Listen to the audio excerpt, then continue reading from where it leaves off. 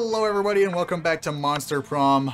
I am Solhom, the gamer who's bad at games, here with the same guys doing the same thing with different characters, different names. I'm gonna skip this because we heard it all. This time, player one, it's also gonna be me, but I'll be the fire chick this time.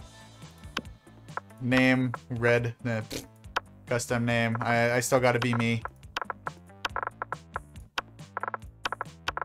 Bap. Okay, who's player two this time? Doesn't Okay, well, matter, don't guys. Everybody jump up. Yeah, I was gonna I'll say it gets shuffled around anyways. Come on. I, I will, since I uh, Okay. I won. You know. Yeah, since you won. okay. Which which guy are you? Uh, I'll be uh, I'll be the green dude, I guess. Okay. Ugly guy. According to uh, last episodes. Yeah. ending. Yeah, if you guys don't know what we're talking about, look check out the results in the last episode. Anyways, alright, uh who's Admiral. next? Admiral? Okay, yeah, I'll be uh, I'll be the guy with the uh, Shoulder something monkey, weird yeah. over. He's over- like a, he's like an ooze person and that's like his little ooze buddy. I thought he was a shadow person. Uh, It's he's either shadow or an ooze, they don't really say. Reminds me of Peter Griffin when he had that. uh, Oh yeah, that little Pete. Twin. Yeah, little Pete. Okay, and so that leaves this being Big Country again. Franken bitch. Just big C here. Uh, the pronouns, thank you, are Good. I guess not. yeah. Well, I forgot the pronouns for everybody, so you got the default. That's fine. okay, uh, we'll skip all of this again because it's the same intro. Okay, stupid pop quiz. it's the exact same. Okay, coolest mythological creature. Already not the same, and you lied to me. I trusted you. No, no, no. I meant the opening. The Oh, okay. questions are always random. Which is the coolest mythological creature? This weird creature I drew when I was six, uh, and which is clearly super derivative from other mythological creatures, but it's super cool and it's my OC and my spirit animal. Okay, or a sphinx, uh, who's super turned up and ready to party, and she raps all her riddles. Uh, She still kills you if you don't answer them correctly. She just raps the riddles. Or the invisible hand of the free market. I like the sphinx because they got a picture up in the corner, so I'm slightly biased. C4, the invisible hand. Admiral Uh, first one. and Big C.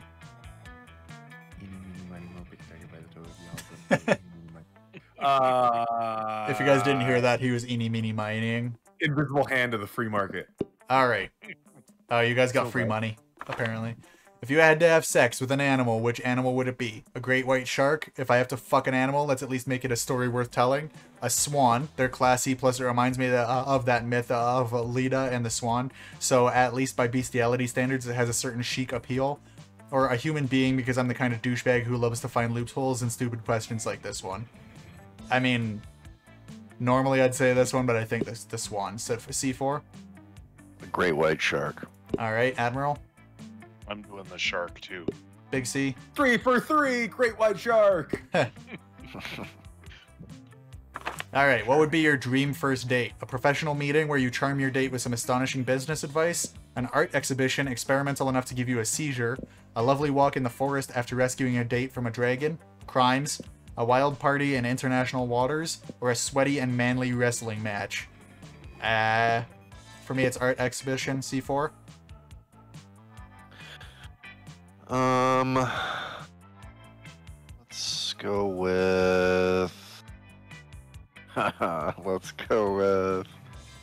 Uh, shit. Let's just I don't go think with shit was an option. yeah. Admiral? Oh, I'm all about the sweaty, manly wrestling match. Big C. I'm fighting a dragon. You've slayed so many dragons. Should be Yep. uh, knighted by Sean Connery. Yep. That's a direct quote, guys. I wasn't pulling that out my ass. Anyways, I'm going. Ooh. Let's see. Well, I have no boldness apparently. Actually, all of our stat spreads are fairly even this time. Uh, I'm gonna go to. I went to library first last time, didn't I? I'm gonna go to the gym. That day, an epic dodgeball match. Everything seems lost, but you deliver an inspirational speech that fuels your team's spirit, leading to a spectacular comeback. You're clearly a natural born leader. You gain plus two charm. Later, you see Liam beaming to himself. Liam? Beaming? It appears that my application to write for Virtue magazine was received and accepted. I knew my pitch would hook them. Imagine the edgiest, most irrelevant article subject you can think of. Now double it. That's my article subject.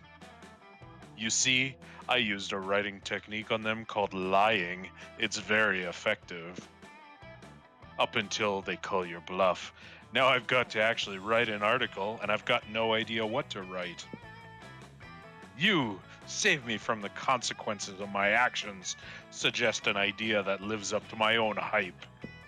Uh, a passionate argument for the legalization of recreational chimera toxins, or a chilling expose of the pasta industry's griffin trafficking. I'm gonna go with that one. Yeah. Well, of course, I don't condone the suffering of innocent magical creatures, but griffin pasta is delicious. So delicious. I simply don't think I could give up the taste of griffin pasta for anything, regardless of the cruelty involved. And I would hate to make a hypocrite of myself. If I don't have my integrity, what do I have?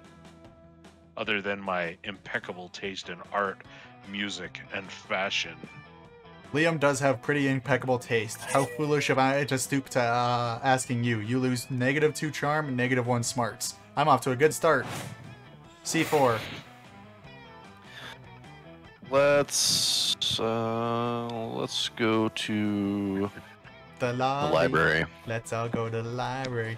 Let's all go to. Uh, that day, you spent some time on the library's PCs mining bitcoins. It's supposed to have something to do with solving algorithms and the rise of cryptocurrency, but you guess that nobody actually has any fucking idea how it works. Anyways, you gain plus two bitcoins equal to two million dollars, which unfortunately equals to two monster dollars, so plus two money. As you survey the library, you notice Vera, whose snakes are hissing and spitting as she glares at her computer monitor. This shit is getting so, so, so old. Every time I go on the Dark Arts forum, I have to deal with the sexiest, sexist trolls. I almost said sexiest trolls, trying to call me out and prove that I'm a fake Dark Arts girl. Oh yeah, you like Lich King so much? Name three of their earliest curses. You probably just take pictures of yourself with cursed artifacts to get attention. As if I can't uh, uh, want to murder people in obscure occult ways just because I'm female. Please. I'm so sick of dealing with this sexist bullshit when all I want to do is use magic to make people suffer. I don't even know what to do. So, you should write a heated essay uh, decrying sexism, an essay so heated it melts the eyeballs of off of anybody who reads it, or you don't need to prove your love of dark arts, just go out and enjoy them. Also, uh, also I should totally come with you. uh, let's go with the first one. That is an excellent idea. I can start by giving background context by talking about RuneGate and when that siren published a book of runes and everyone got way too obsessed with looking into the lives of all the men she's drowned and then go on to explain that this is what women in the dark arts face every day and that no one believes we can use curses and that's where i'll lay on, uh, in the curse that will melt everyone's eyeballs out. I think i'll start by talking about how hard women work to be taken seriously while draining the pigment from their irises. Then i'll move on to explaining how damaging sexist attitudes are while having the flames consume their pupils Quick as a fierce feminine, a feminist flash, Vera has published her essay online. It goes viral with, literal impossible speed. An essay that literally melted my eyeballs out, so painful and so dark artsy. This gal really knows her stuff, writes one chupacabra. I will never see a woman as unworthy of the dark arts ever again, uh, says the formerly sexist sea serpent. I will never see women at all. I will never see any anything. I have no eyeballs.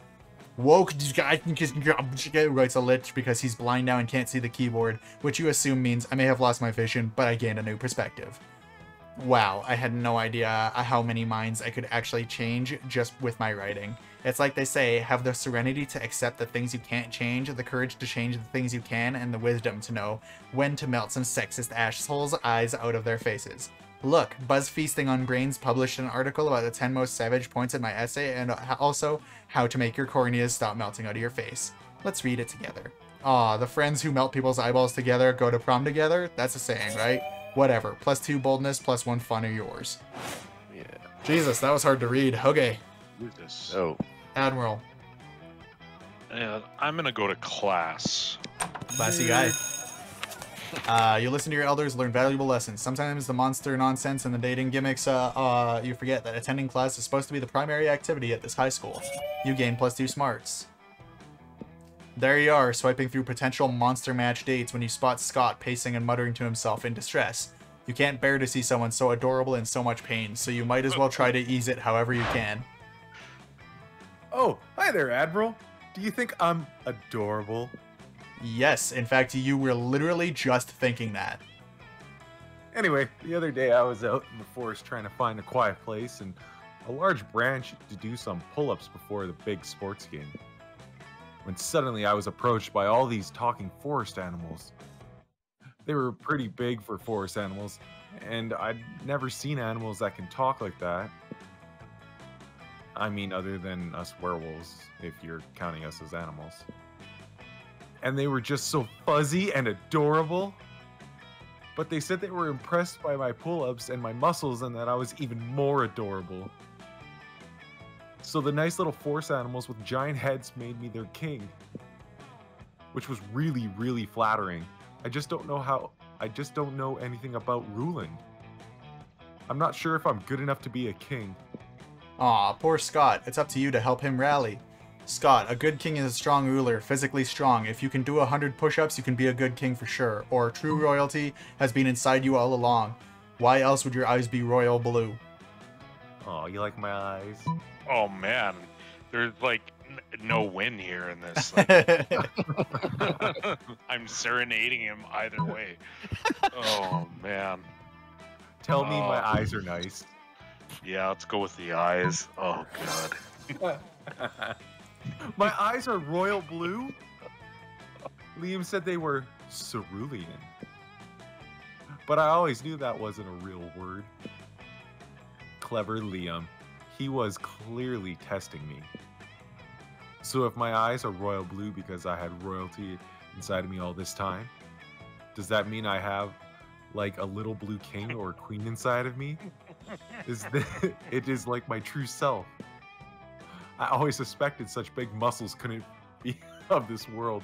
So good old Scott is just a mecha for the little blue person to fight against evil. It's like that scene from uh, Men in Black. I wonder what my real royal name could be. Sir Beef Wellington? Lady McBeef? No, Lady Mac Muscles. I actually know a guy that goes by Sirloin of Beef online. I I should ask my loyal furries about that. Oh god. Oh, please don't call them furries. That's inviting a whole thing. Yeah. Furries is what I've decided to call those giant furry talking forest animals for short. Uh, oh no, wait a minute. Thanks for helping me get my confidence back, Admiral. You should come meet my furry friend sometime. Oh, Oh god. He probably already knows them. Oh. Well, you've always wanted to hang out with Scott. Not too sure about these circumstances, but it's better than not hanging out at all. You gain plus two smarts, plus one fun. Alright, Big C. Uh, let's go with. Uh, want uh, bathrooms. That day you skip class and just hang out in the bathrooms because you respect no authority. What is she? Is this like a cheap thrill for her? I guess some people just want to watch the world burn by skipping class and hanging out in the bathrooms. You give zero shits and gain plus two boldness. Whoop, whoop.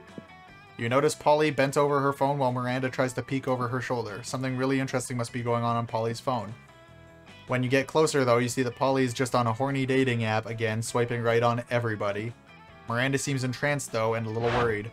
What, what did you say this was called again? And it's an app for finding true love? Um, sure. But but I never knew. I've spent countless hours going to royal balls and kissing frogs and pretending to be in the magical slumber when I could simply have been using this app. I mostly just use it for collecting dick pics. What are these dick pics? Tokens of affection? Oh, alas, to be so far behind in my quest for love. I am 19 years old, practically an old maid, and only now learning of this? Oh, how will I ever make up for lost time? Don't worry, I'll coach you in the mysterious uh, ways of the horny dating app. You'll have a whole harem in no time. Or you still, uh, you still don't have horny dating app? Why should you worry? Or why should you worry having horny dating app when you can actually own a horny dating app? Why don't you just buy the entire company? I'll coach you. You would do that for me? Oh, good. I have so many questions. What does DTF mean? Does that uh, does that muscular chest in this picture have a head attached, or did this man take a picture like that to hide his handlessness? Why do so many of the profiles use the eggplant emoji? I shall appoint you my royal advisor in the charge of the horny dating app adventures. Your first ta- task will be to take some very hot selfies of me. You're not sure Miranda knows what a selfie means, but you're not complaining. You get plus two charm, plus one smarts. Oh yeah. Choose an object. Um, Xbox controller. Toilet. Den- dental floss. Toilet paper. Okay. Player orders Did decided based on how right. how good the selected object would be as your only weapon in battle royale situation.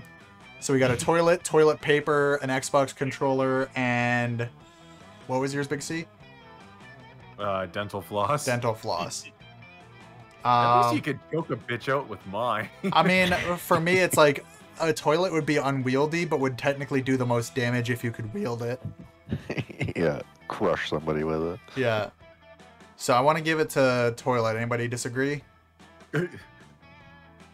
no. No, go. Okay, so then we got Xbox controller, toilet paper, or dental floss. I Yeah, feel but- like toilet paper is last. yeah, bro. But Probably- What was yours again? Oh, I got Xbox Well, controller. Either that or dental floss for sure. One I'll go two. with Xbox controller uh, because it's already got a cord on it, whereas the dental floss you'll have to like weave into like a military cord or something.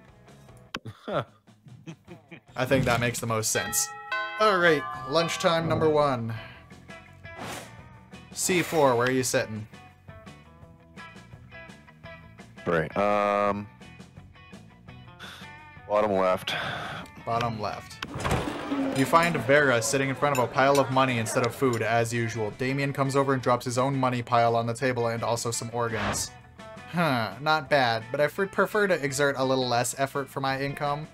A dejected swamp creature slumps over to the table and adds some money to Vera's pile.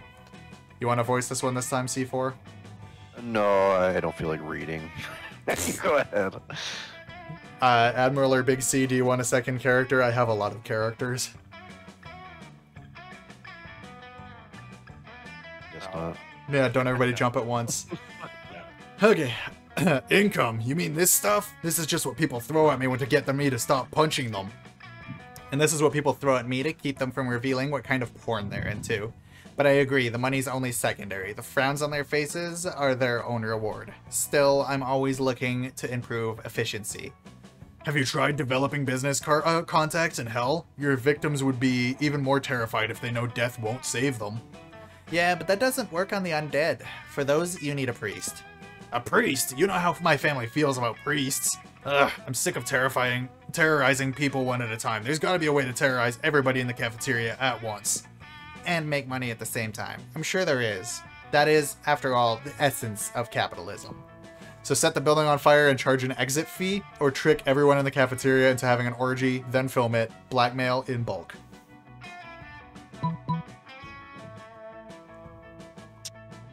Uh... I'm gonna have to go with the second one. The second one? Simple, elegant, raunchy. I like your style. But how are you gonna trick a whole room of people into having an orgy? Don't tell me you don't know how to do that. Is this is this something you do all the time? Is this something you don't do all the time? I thought you were a prince of hell. Yeah, but I'm a prince of the Bernie part of hell, not the sexy part of hell. That explains it. Well, to answer your question, this is a room full of high schoolers. A slight breeze could instigate an orgy. Although the succubus sauce I snuck into the sloppy joes won't hurt either. It certainly doesn't. You, Vera, Damien retreat to a safe distance to film the sexy carnage and avoid the fluids. Gross. Alright, um...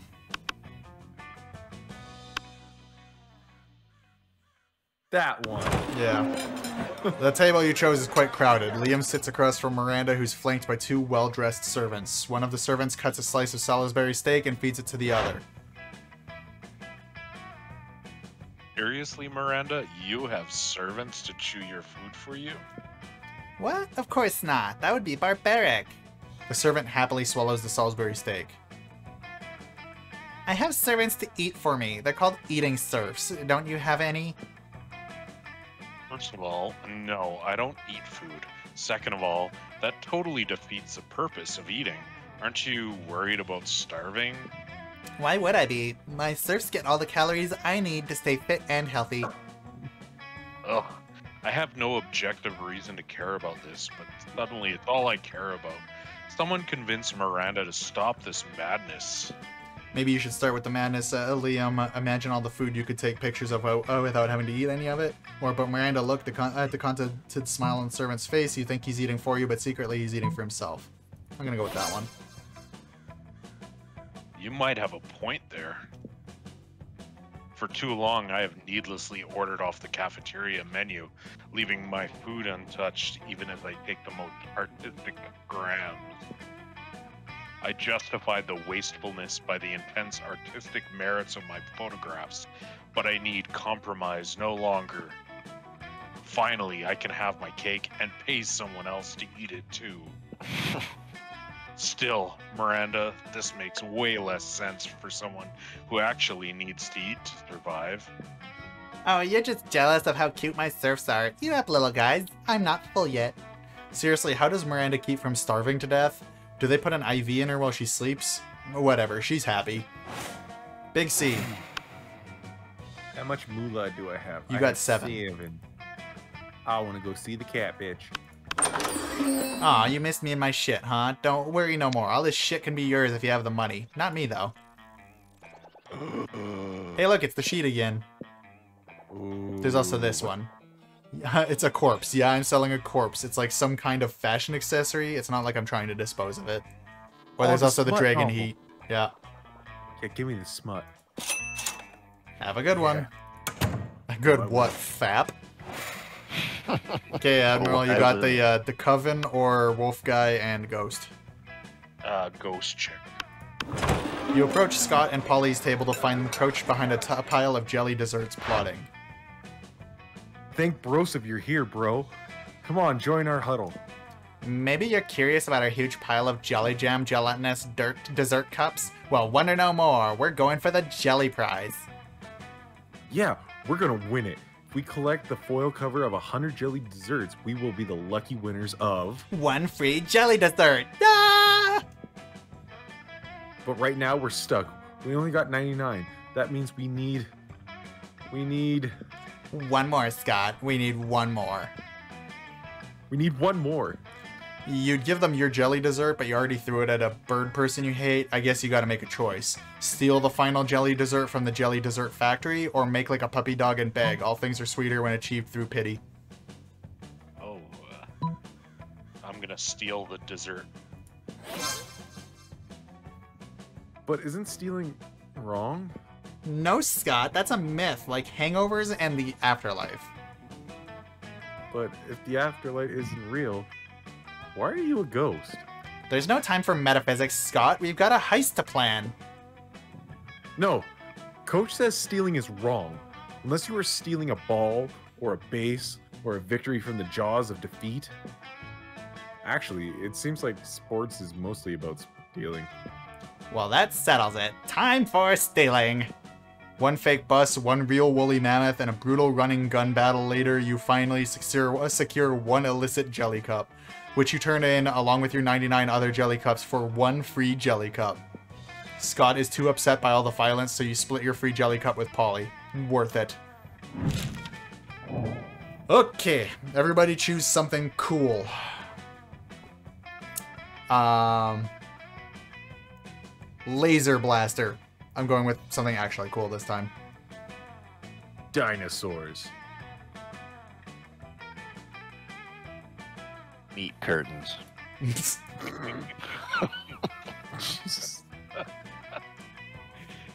Oh, engorged like obscenely engorged clitorises. Oh lord. Player orders decided based on how important it would be to bring the selected item to our first Ma- Mars colony. Okay, I think we need laser blasters. yeah, yeah. I think they already have dinosaurs, so that's got to be pretty low. Um, mate curtains and clitorises, guys, which is which is more important. All about important. What did we agree? I mean, I mean, you're gonna need that on Mars, right? Uh, the clit. the clit. Clit is more important than the curtains. There we go. Yeah, they made you say it out loud, Big C. It happened. Uh, Okay, uh, so me first this time. Um, Yeah.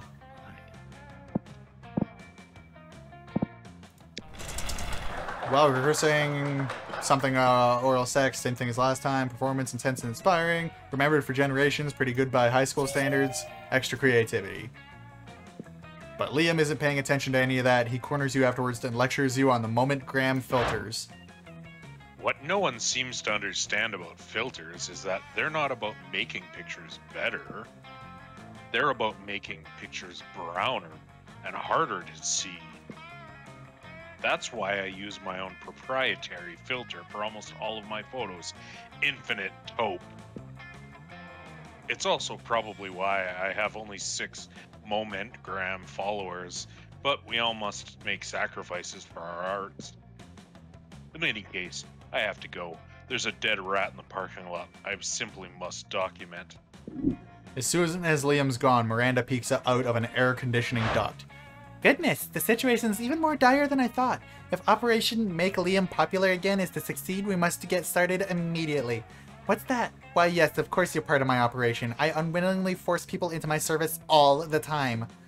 Oh, you want to know why it's called Operation Make Liam Popular Again? Well, he's been alive for like centuries, right? I'm sure he must have been popular at some point. I'll check his the history books later. There's no time now. Phase 1 is getting Liam more Momentgram followers. I took the liberty of having my royal spies discover the password to his account so we can give it a total makeover. But what to do? Use his account to post a bunch of porn and bomb recipes, or pay a million homeless people to follow Liam on Momentgram. Um,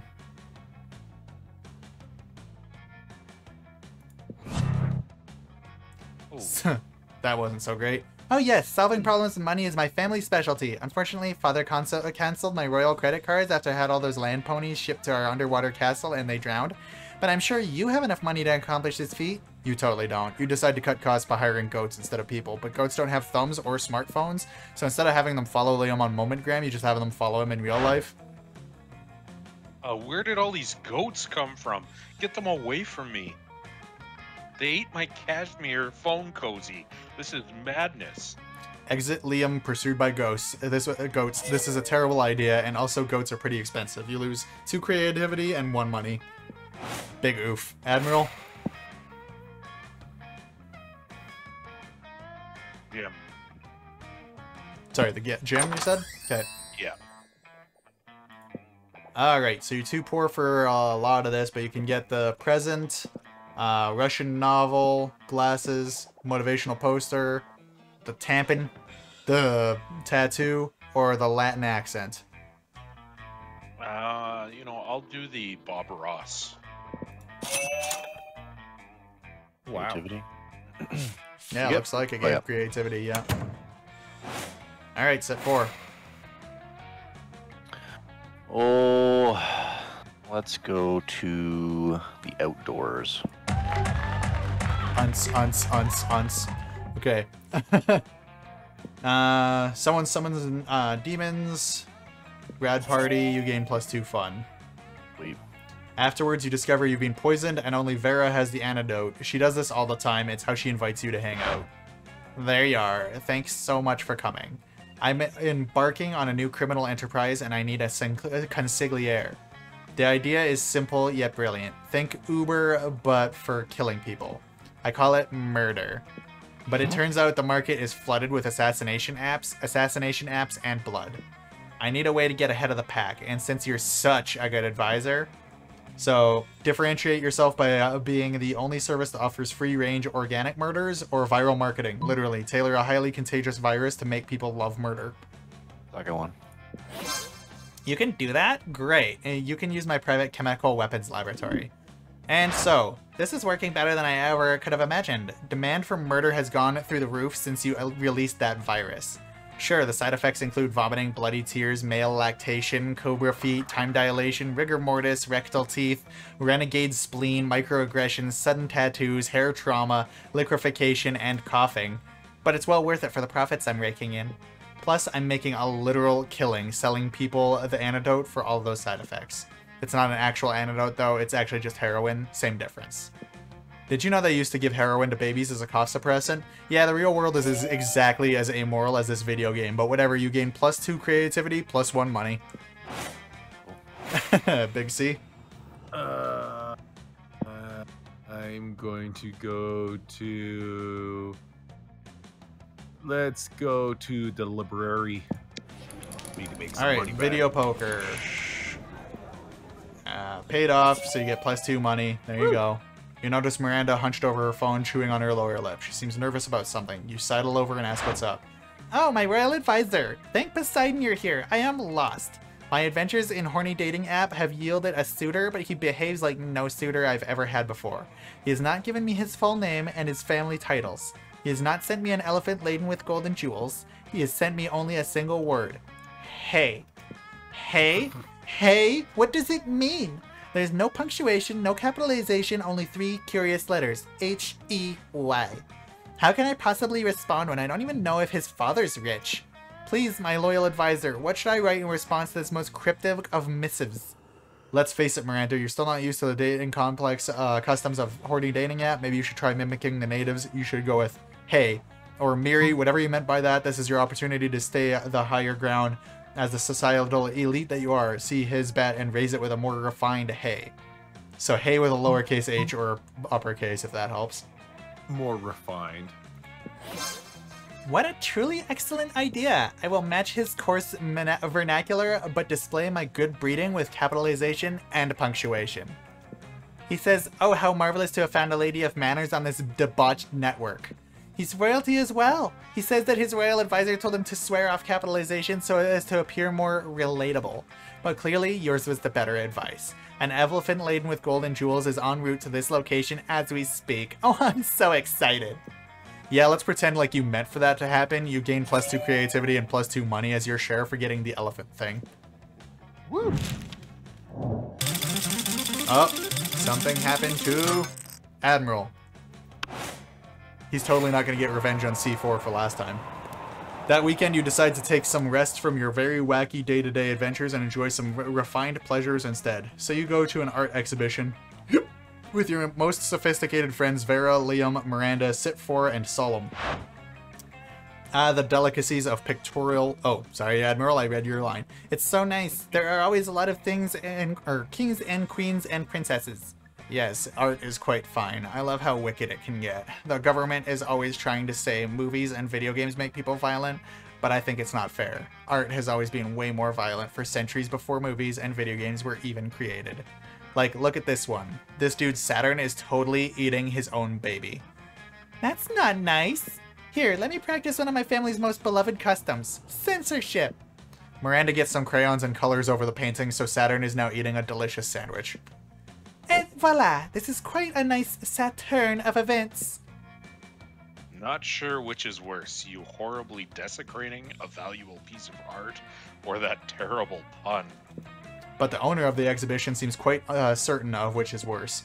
What have you done? You rascals have destroyed a classic piece of art worth millions! You'll have to pay me back for this.